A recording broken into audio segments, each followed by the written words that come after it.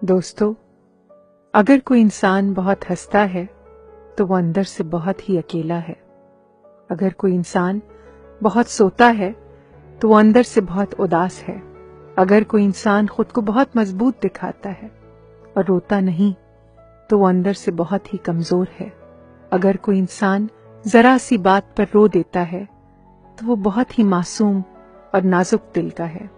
اگر کوئی ہر بات پر ناراض ہو جائے تو وہ اندر سے بہت ہی اکیلا ہے اور زندگی میں پیار کی کمی محسوس کرتا ہے۔ خوبصورت لوگ ہمیشہ اچھے نہیں ہوتے، لیکن اچھے لوگ ہمیشہ خوبصورت ہوتے ہیں۔ بہترین انسان اپنی میٹھی زبان سے ہی جانا جاتا ہے، ورنہ اچھی باتیں تو دیواروں پر بھی لکھی ہوتی ہیں۔ زندگی تب بہتر ہوتی ہے جب آپ خوش ہوتے ہیں، لیکن زندگی تب بہترین ہوتی ہے جب آپ کی وجہ سے کوئی دوسرا خوش ہوتا ہے۔ دو آدمیوں سے ہمیشہ ہوشیار رہو۔ ایک وہ جو تم میں وہ عیب بتاتا ہے جو تم میں نہیں۔ دوسرا وہ جو تم میں وہ خوبی بتائے جو تم میں نہیں۔ اپنی قیمت اتنی رکھیے جو ادا ہو سکے۔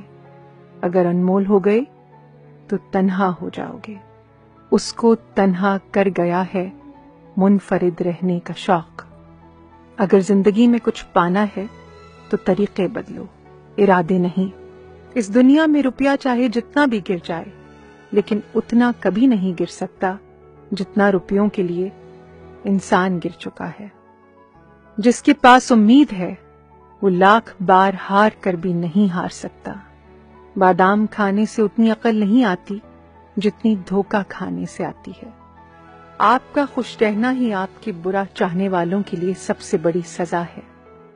رشتے اور راستے ایک ہی سکے کے دو پہلو ہیں۔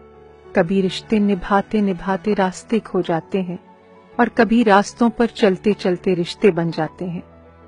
زندگی کی رفتار اس طرح بناؤ کہ اگر کوئی دشمن آگے نکل جائے تو چلے گا، لیکن کوئی دوست پیچھے نہ چھٹ جائے۔ اخلاق ایک دکان ہے۔ اور زبان اس کا تالا۔ جب تالا کھلتا ہے تو پتا چلتا ہے کہ دکان سونے کی ہے یا کوئلے کی انسان کی انسانیت تب ختم ہوتی ہے جب اسے دوسروں کے دکھوں پر ہنسی آنے لگے۔ دنیا میں کوئی بھی کام ناممکن نہیں، بس حوصلے اور محنت کی ضرورت ہے۔ دعا تو دل سے مانگی جاتی ہے، زبان سے نہیں۔ قبول تو اس کی بھی ہوتی ہے جس کی زبان نہیں۔ مت کیا کر اتنے گناہ توبہ کی آس پر ابن آدم۔ بے اعتبار سی زندگی ہے، جانے کب موت آ جائے۔